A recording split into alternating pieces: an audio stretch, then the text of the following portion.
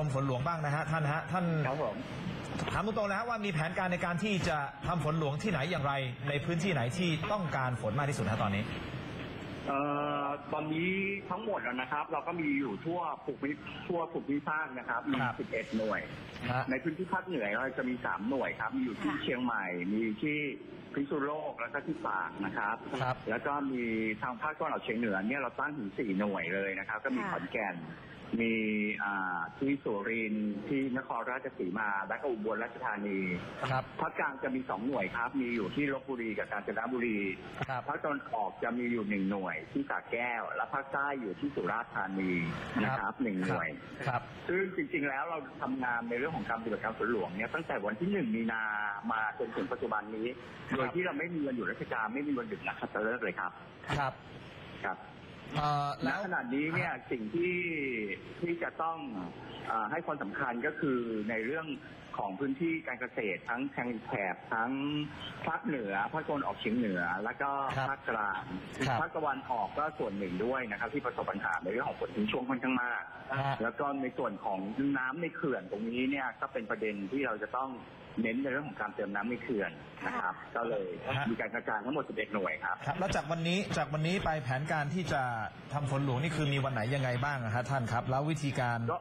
อ่าประเด็นอย่างนี้ครับว่าเราเราทำทุกวันอยู่แล้ว อย่างวันนี้เราอ๋อก็ยังทำเครื่องบินอ่า จัดการ ซึ่งทุกวันเนี่ยในตอนเช้าเนี่ยเราจะต้องมีการตรวจสภาพอากาศนะครับ วัดสภาพอากาศชั้นบนนะครับ เพื่อจะเอาข้อมูลมาประกอบในการตัดสินใจในการวางแผนขึ้นบินปฏิบัติการครับว่าสภาพอากาศเอื้อหรือไม่นะครับ โดยหลักการโดยเอาคร่าวๆนะครับ ก็คือในเรื่องของความชื้นสัมผัสในอากาศเนี่ยต้องมากกว่า 60%แต่ครับในช่วงนี้เนี่ยความชื้นสัมผัสในอากาศเนี่ยค่อนข้างดีอยู่เกิน 60%อยู่แล้วนะครับ ส่วนที่สองก็คือในเรื่องของอากระแสความเร็วลมเนี่ยก็ต้องไม่แรงมากไม่เกิน 36 กิโลเมตรต่อชั่วโมงครับนะครับอันเงื่อนไขที่สามก็คือในเรื่องของค่าการยกตัวของอากาศก็มันก็จะไปเกี่ยวกับในเรื่องของพลังงานแสงอาทิตย์นะครับครับถ้าในวันที่มีในอากาศที่ว่าเป็นท้องฟ้าปิดในอากาศแบบนั้นเนี่ยในเรื่องของโอกาสการยกตัวของอากาศหรือของยกตัวของเมฆเนี่ยก็ค่อนข้างลำบาก นะครับฮะเพราะฉะนั้นก็เงื่อนไขเหล่านี้เนี่ยเราจะมีการติดตามทุกเช้า แล้วเราก็มาวางแผน ซึ่งก็พี่น้องประชาชนสามารถเข้าไปติดตามทางฮะเพจเฟซบุ๊กของกรมฝนหลวงและการบินเกษตรได้ครับครับเราแล้วจะมีการไลฟ์เวลา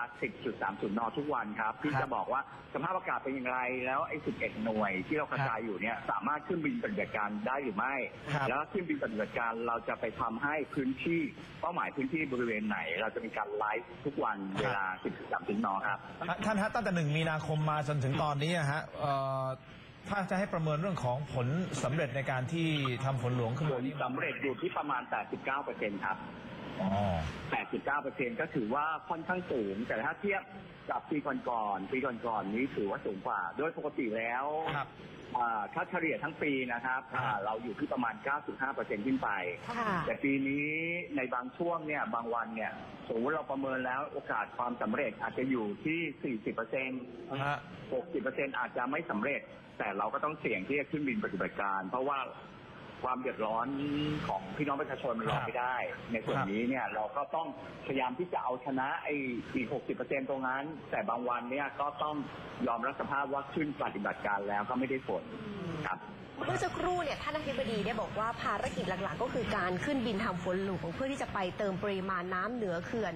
ถ้าดูแล้วเนี่ยมีเขื่อนไหนที่ระดับน้ำอยู่ในขั้นวิกฤต แล้วก็ปฏิบัติการในการเติมฝนหลวงเนี่ยสามารถจะเติมปริมาณน้ำเหนือเขื่อนได้มากน้อยแค่ไหน อยากจะให้ท่านอธิบดีเนี่ยได้ชี้แจงในรายละเอียดตรงนี้เนี่ยค่ะคือเรียนอย่างนี้ครับ ณ ขณะนี้เนี่ยทางกรมชลประทานกับทางสสทนชนะครับ แจ้งค่ะข้อมูลมาให้เรานะครับว่าเขื่อนขนาดใหญ่จาก 35 เขื่อนเนี่ยอ่ามีมี 18 แห่งที่มีปริมาณน้ำน้อย กว่า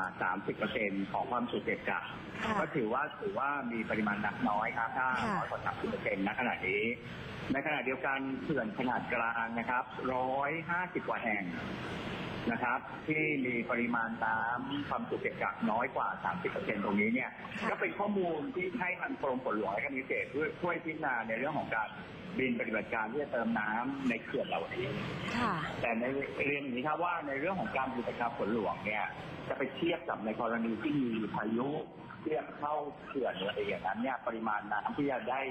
มากมายเหมือนกับพายุอย่างนั้นทำไม่ได้ค่ะค่ะนะครับเพราะว่าในเรื่องของการออกแบบเขื่อนเนี่ยเขาออกแบบมาที่จะรองรับสำหรับกรณีที่จะต้องเกิดพายุ น้ำในเขื่อนเต็มนะครับ ครับ แต่ในกรณีที่ฝนหลวงไปทำเนี่ย จะได้ปริมาณฝนเนี่ยไม่ได้มากมายเทียบเท่ากับพายุได้เลยนะครับค่ะ อันเป็นการปฏิบัติการฝนหลวงเนี่ยถือว่าเป็นการเติมเต็มเท่านั้นนะครับอืม ต้องเรียนเรียนให้ทราบแบบท่านนี้ท่านท่านอธิบดีครับแล้วแล้วถ้าจะให้ท่านอธิบายว่ามันมันประมาณเท่าไหร่ฮะสำหรับการทำฝนหลวงเนี่ยเวลาน้ำตกลงมาจะนับนับเป็นยังไงฮะเป็นกี่ลูกบาศก์เมตรหรือว่ากี่มิลลิเมตรอะไรอย่างเงี้ยฮะท่านท่าน เราก็มีการอ่าบางวันสมมติอ่าถ้าเราทำได้มากอย่างเงี้ยก็อาจจะอยู่ที่ประมาณสักสามสิบสี่สิบมิลลิเมตรก็เป็นไปได้นะครับ อ่า แต่บางกรณีที่ทำเนี่ยสภาพอากาศมันเอื้อหรือไม่เอื้อขึ้นอยู่นั้นบางครั้งก็อยู่ที่ประมาณ 3 4 5มิลลิเมตรก็มีครับที่ตกลงมาได้ปริมาณเล็กน้อยเท่านั้นไม่ได้อืมไม่ได้เป็นฝนที่จะเยอะในปริมาณแบบนั้นนะครับอืมในขณะเดียวกันพื้นที่ที่ฝนตกเนี่ยในการกระจายตัวเนี่ยก็อาจจะอยู่ที่ระดับเป็นแสนไร่ขึ้นไป หรือบางครั้งเนี่ยก็อยู่ที่ระดับหลักหมื่นไร่สี่ห้าหมื่นไร่ในลักษณะประมาณแบบนี้ในในบริเวณที่เราสามารถจะทำได้อย่างนั้นนะครับค่ะเท่าที่เห็นภาพนะวันนี้กับการรายงานข่าวจะมี 4 เขื่อนหลักฮะ ๆ ทั้งเขื่อนครัสิบริกิตเขื่อนภูมิพลเขื่อนป่าศักดิ์ชลสิทธิ์แควน้อยบำรุงแดนที่ท่านอธิบดีได้ติดตามสถานการณ์ในเขื่อนหลักๆพวกนี้ไหมคะเพราะเห็นบอกว่าปริมาณน้ำเนี่ยถ้าไม่มีฝนตกลงมาเติมเลย ใช้ได้แค่ 40 วันตอนนี้เนี่ยถึงขั้นต้องลดปริมาณการระบายน้ำลงท้ายเขื่อนแล้วอะค่ะเ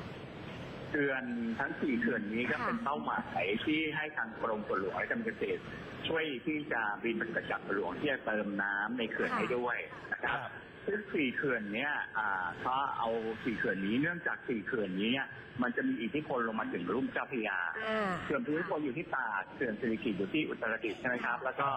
อ่าเขื่อนป่าสักนี่อยู่ที่ลบบุรีครับนะครับ แล้วก็เขื่อนแควน้อยอยู่ที่พิษณุโลกเพราะฉะนั้นค่ะคือสี่เขื่อนเนี่ยในการบริหารจัดการร่วมกันเนี่ยมันจะลงมามีอิทธิพลถึงรุ่มเจ้าพระยา ซึ่งจะมาผ่านกรุงเทพมหานคร ค่ะฮะเพราะฉะนั้นในเรื่องของการที่จะบริหารจัดการไม่ว่าจะเป็นในเรื่องของพื้นที่การเกษตรในรุ่มเจ้าพระยา หรือในเรื่องของการผลักดันไล่น้ำเค็มที่ น้ำเค็มจะเข้ามาในแม่น้ำเจ้าพระยา ซึ่งจะมีผลต่อในเรื่องของการประปาในเรื่องของนี้เพราะฉะนั้นสี่เขื่อนนี้ก็มีความสำคัญถึงจะเป็นประเด็นที่ว่าจะต้องพิจารณาในสี่เขื่อนนี้ค่ะให้ความสำคัญตรงนั้นด้วยอ่าทางทางฝนหลวงก็สอนรับอะครับว่าในพื้นที่ภาคเหนือเนี่ยเราถึงมีหน่วยอ่าหน่วยปฏิบัติการให้ถึงสามหน่วยครับมีพิษณุโลกมีที่ตราดมีเชียงใหม่เพื่อที่จะดูแลในเรื่องของการเติมเต็มเขื่อนใหญ่เหล่านี้ด้วยครับค่ะครับอ่าอะ ได้ครับท่านอธิบดีผมมีเวลาสั้นๆอีกนิดเดียวนะฮะสัปดาห์หน้าทางรัฐบาลเห็นเขามีออกข่าวใช่ไหมคุณนิรัชยาบอกว่าจะจะระดมกำลังกองทัพทำฝนหลวงอย่างเต็มที่เลยนะฮะท่านนะฮะอันนี้ท่านครับผมให้ข้อมูลได้ไหมฮะสั้นๆเลยฮะท่านฮะเอ่อในส่วนนี้เนี่ยก็เป็นการที่ในส่วนของกรมฝนหลวงและการเกษตรเองณขณะนี้เนี่ย มีอากาศยานที่ใช้ทั้งหมด 22 ลำก็เอาออกใช้แล้วนะครับครับเต็มที่แล้วแล้วก็นักบินที่มีอยู่ตรงนี้นะครับ ครับส่วนเราก็ได้รับการอนุเคราะห์จากกองทัพอากาศเนี่ยมาสองลำอยู่ณขณะนี้ในจำนวน 11 หน่วยตรงนี้นะครับ ครับ นั้นก็ถ้าสมมุติมีอ่าทางกองทัพสามารถที่จะสนับสนุนอากาศยานและก็นักบินเข้ามาอีกส่วนหนึ่งครับในการที่จะเต็มเต็มที่จะดูแลให้ครอบคลุมพื้นที่ได้มากขึ้น ตรงนี้ก็เป็นเรื่องที่ดีครับ ครับ ก็น่าจะเป็นในส่วนของสัปดาห์หน้าที่น่าจะมีการพูดคุยที่ได้ครับประสานงานนี้มากขึ้นนะครับ ได้ครับครับผมอะขอบคุณท่านมากนะครับ ขอบคุณค่ะ ขอบคุณนะครับท่านครับ ครับครับ